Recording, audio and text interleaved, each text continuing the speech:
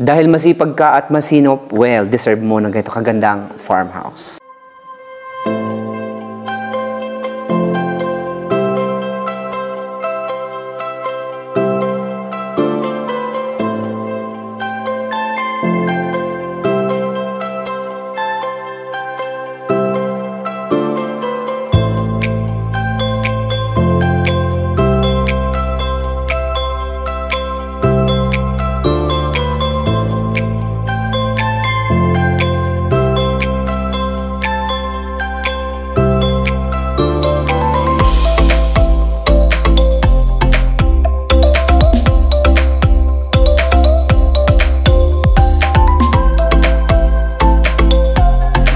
Morning everyone. So maimbong tagkanita ng Buenos Dias amigo amigo all over the globe. Uh, today we're going to take a look at this house and lot or farmhouse for sale here in Indang, Cavite. But before we begin, I invite you all to hit that subscribe button and click that notification bell to get you notified for whenever we release new YouTube videos. We're on Facebook and Instagram by simply clicking that link below on the description box. My name is Ray and let's begin this farmhouse tour. Okay? So first thing is we are located in Barangay Harasan in Indang Cavite. Approximately the property it's 20 minutes driving away to Tagaytay City. Expected that the property with beautiful atmosphere. This is a cold climate property also. Plus this state from Manila it's around 1 hour and 20 minutes driving away via Cavite Laguna Expressway, Expressway and take Tansa, then Tresa, then Indang, Cavite. Okay, so the specs of this property with a total land area of 2,504, you have nice frontage of about uh, 35 meters frontage. The property is enclosed with perimeter fence with 43 pieces uh, matured uh, pine trees with large house.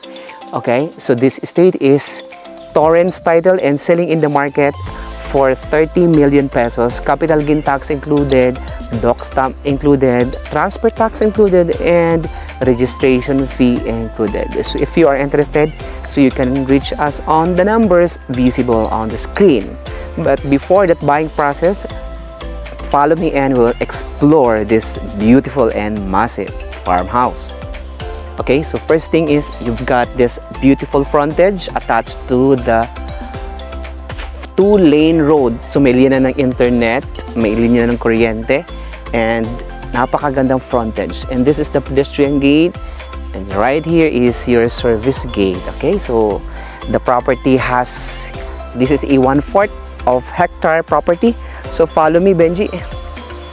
So upon entering, so you will be greeted by this massive and lovely landscape. So to my right side or to my left side, by the way, you've got this beautiful and massive lawn area.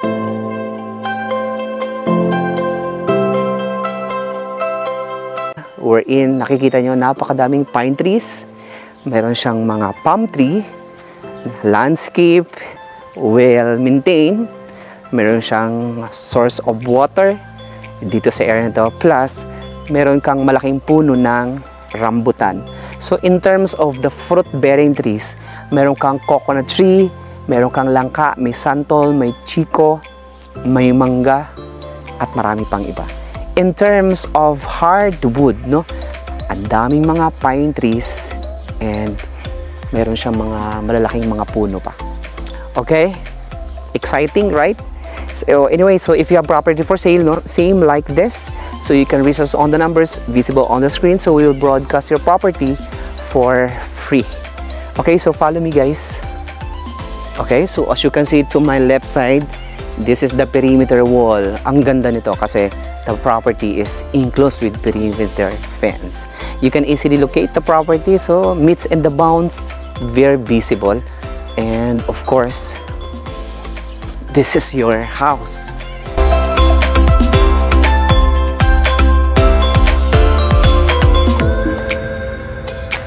So this is a advantage of having a farmhouse kasi aside from a beautiful atmosphere, napakadami ka pang area wherein pwede kang magtanim, mag-cultivate, Plus, pwede ka pang maglagay pa ng malaking swimming pool or in structure na gusto mo. Okay, so right here is the main entrance. But before that side, so try to appreciate this lawn area right here.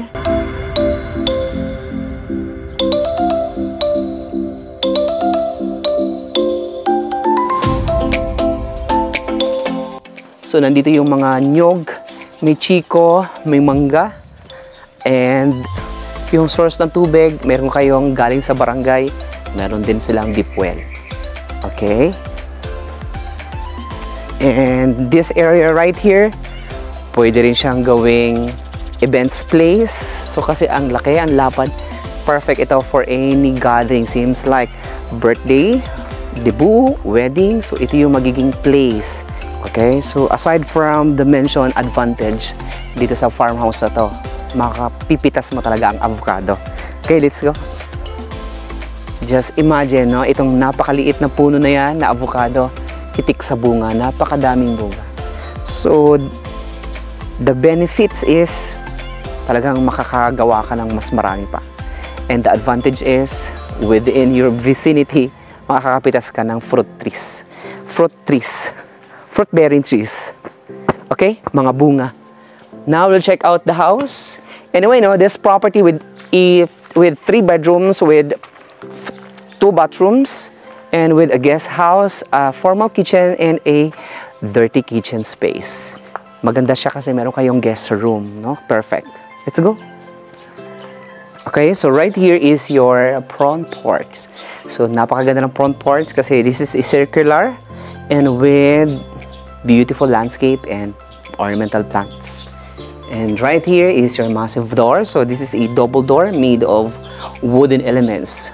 Talagang aside from this uh, old uh, uh, furnitures, dami pa silang ibang mga wooden elements na galing sa mga release ng tren. Okay, follow me.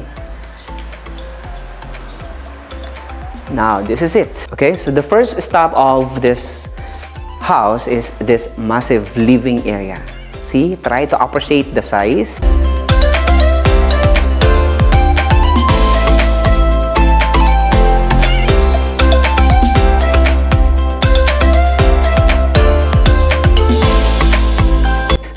The layout, this is a open layout living space. So at my back, no, you have this furniture. So by the way, no, this property is selling fully furnished. So anything you see are included. No, seems like the sofa, the beds, the appliances, everything you see. Kasi napakagalante ng may-ari nito. So right here is your living area wherein dito niyo pauupuin yung inyong mga VIPs. And uh, one thing na napapansin ko dito sa house na to with lot of ventilation. So, power saver, very airy and napaka-presko. Okay, so at my back, you have this first bedroom. Okay, the check this one. So right here, meron kang queen size bed, beautiful barn design door. And over here, a very large space bathroom. So you have water closet, shower shower area and a wash area. So alaga yung property nila. So okay, maganda to. Hindi kayo talo dito sa price niya. Anyway, no, the property is selling for 30 million pesos.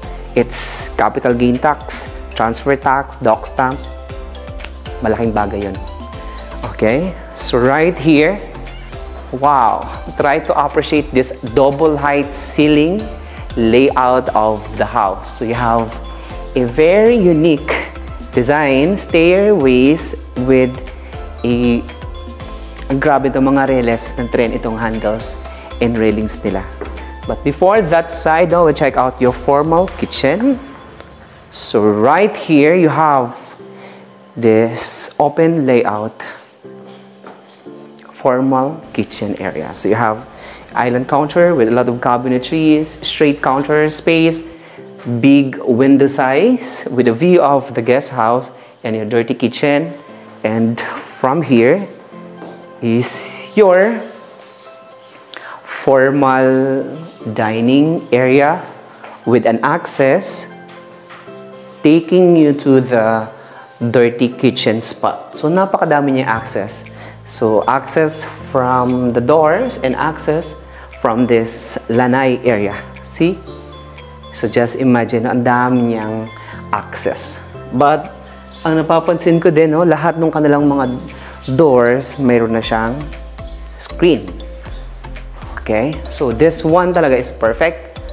And, we will check out the second floor. Alright, so uh, check out the second floor. By the way, so shout out sa ating mga buyers na nasa Canada, California, New Zealand, Japan, all over the globe no, for always tuning in in our channel. A special mention sa ating bagong farmhouse owner from Qatar and from Singapore. Alright, so perfect spot here on this level. So by the way, yung steps na to is end siya or may landing siya from the Plata area which is also very nice. Okay, so right here you've got the beautiful view or circular view of that wall design. See, meron kayong mga fixed glass over there which also give a beautiful accent dito sa pinaka high ceiling portion of this beautiful home. Okay, so over here you've got this 2 meters wide balcony.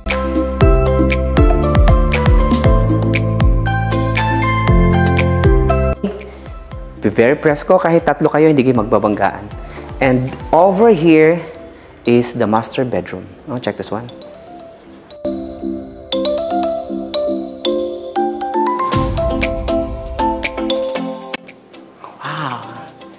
So very wide and very spacious. When it comes to the ventilation, ang daming bintana. When it comes to the atmosphere, talaga namang malamig dito. So this California king size bed is also included with beautiful headboard design, nice ceiling treatment. This Sony brand flat screen TV is also part of the sale. See, even this fan, this furniture, lahat yan included. You've got this ample space right here wherein pwede kayong maglagay ng built-in cabinetries or storage bins and your closet area. So might be also you can convert this spot into a mini bar inside dito sa master bedroom. Okay, so right here you've got this super size bathroom.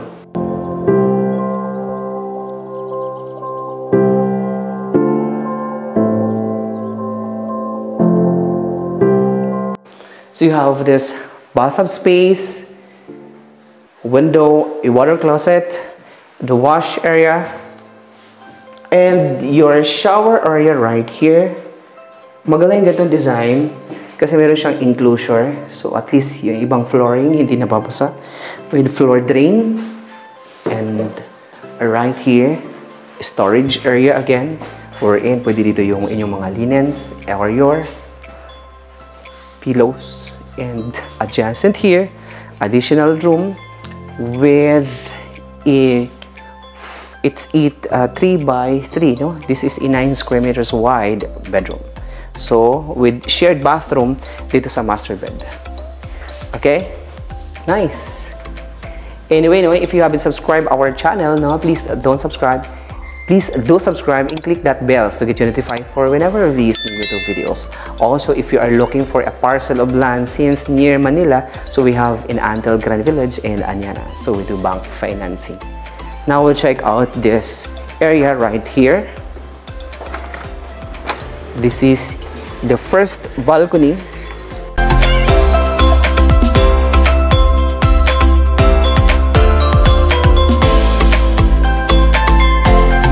Wow, see? Early in the morning, no? just imagine early in the morning with holding a coffee, a cup of coffee, then dito ka, so maririnig mo ang daming huni ng mga ibon. Okay? So aside from that one, mafe-feel mo yung retirement area mo. Talaga namang malamig dito sa area to at napakatahimik. Okay, we'll check out the spacious balcony area. Let's go, Benji. Right? So, this is a common balcony area dito sa second level.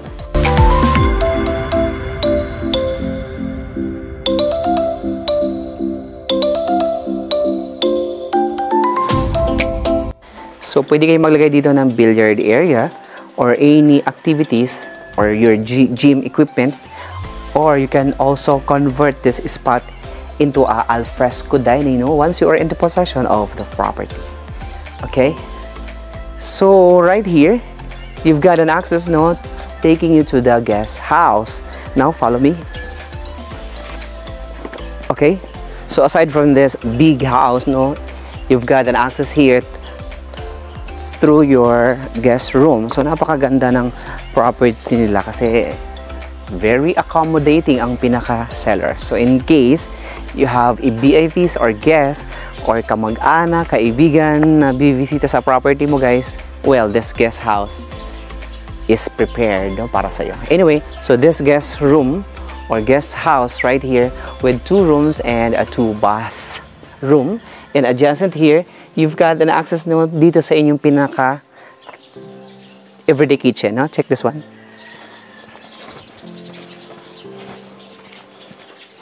Okay.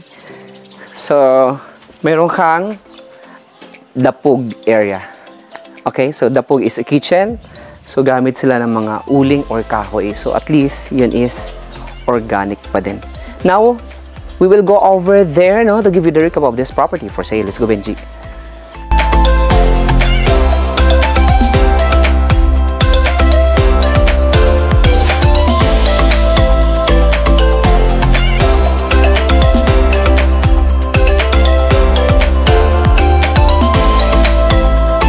So again, no, thank you so much to our listing agents and brokers for bringing us dito sa Indang, Cavite, which is very close to Tagaytay City. It's approximately 20 minutes less driving away to Tagaytay City. And from here to Manila, it's around 1 hour and 20 minutes driving away. Kaya perfect for retirement home, vacation home, holiday house, or events area.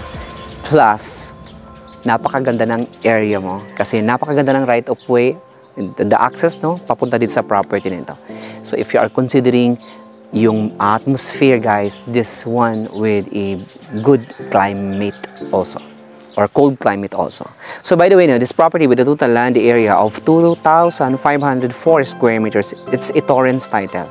And with to- total frontage of 35 meters attached to the two-lane road with a Meralco with a water line, may internet na, fully furnished, big house with guest house with a fruit-bearing trees and this property is facing northwest. So if you are interested to check out and buy this property, so you can reach us on the numbers visible on the screen. So again, this estate is selling in the market for 30 million pesos, capital gain tax included, registration fee included, transfer tax, and doc stamps included. So napakalaking bagay na yung capital gains and transfer tax ma is, is free na siya sa inyo. So if you are interested, so you can reach us on the numbers visible on the screen. Again, my name is Ray and I hope to see you in our next video. Thank you very much and God bless everybody.